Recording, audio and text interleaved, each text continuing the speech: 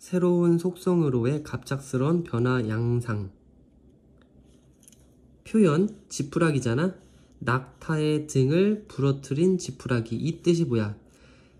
낙타가 지푸라기 한 올, 두 올, 세 올 이거는 괜찮잖아. 근데 그 지푸러, 지푸라기가 엄청 막 엄청나게 쌓이면 어떻게? 못 들잖아. 그거 얘기하는 거야. 그래서 맨 처음에 수량은 수가 몇 개가 적어. 근데 수가 엄청나게 많아지면 그 성질이 변한다. 이런 내용이야. 그래서 그 표현은 정확하게 설명한다. 변화를 수량에서 새로운 속성으로의 변화를 설명합니다. 가주어 진주어니까 하나의 추가적인 지푸라기는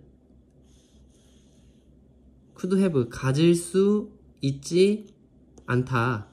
효과를 그만큼의 효과를. 지푸라기 하나가 어떻게 낙타 당을 낙타의 등을 부러뜨려 그지? 그래서 하나의 추가적인 지푸라기는 그런 효과를 낼 수 없지만 at some point, 어느 시점에서 무게는 그리고 add up to 하면 더해져서 뭐뭐가 되다야. 그래서 무, 어느 시점에서 무게가 더해져서 견딜 수 없는 짐이 어, 되는 것처럼 보인다. 될지도 모른다. 이렇게 하면 돼 되는 것 같다. 비슷하게 물 한 잔이 차가워지면 by 1 degree 1도씩 at a time 한 번에 1도씩 차가워지면 그것은 도달한다. 어느 시점으로 도자, 도달한다. 어느 시점이냐면은 액체가 얼음이 되는 시점 속성이 변했잖아 그지? 그리고 동격이야. 그 얼음이 뭐야? 고체지? 어, 매우 다른 속성을 가진 고체인 얼음이 된다 어, 이런 변화의 이해와 함께 우리는 볼 수 있다 왓절이 지금 목적으로 쓰였지? 뭘 볼 수 있냐? 어, 뭐뭐 되는 것처럼 보이는, 변하고 있는 것처럼 보이는, 천천히 변하게, 변하고 있는 것처럼 보이는, 처음에는 천천히 변하고 있는 것처럼 보이는 것을 볼 수 있다. 그리고 나서 갑자기 바뀐다. 뭐, 뭐가 된다? 매우 다른 상황이 된다. 양극화야. 사회의 양극화인데, 점점 더 두 가지 계층으로 두 계층으로 이것도 예를 예를 들고 있어. 맨 처음에 낙타 그 다음에 뭐야 요거 그 다음 사회 이런 식으로.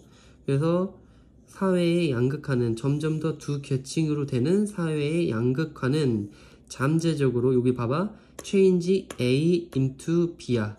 A를 B로 바꾸다지 그런 잠재적으로 바꿀 수 있다. 요거를 요거로 요거잖아 그럼 지금까지 겉보기에 정체된 시기로 어 시기로 보이는 것을 극적인 변화의 시기로 어 바꿀 수 있다.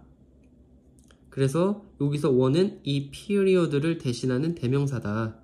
그래서 다시 한번 어 점점 더 양극화로 가는 사회의 두 양극 아, 사회의 양극화는 점점 더 두 계층으로 가는 잠재적으로 바꿀 수 있다. 지금까지 겉보기에 정체된 기간으로 보이는 것을 기간인 것을 극적인 변화의 기간으로 시기로 바꿀 수 있다.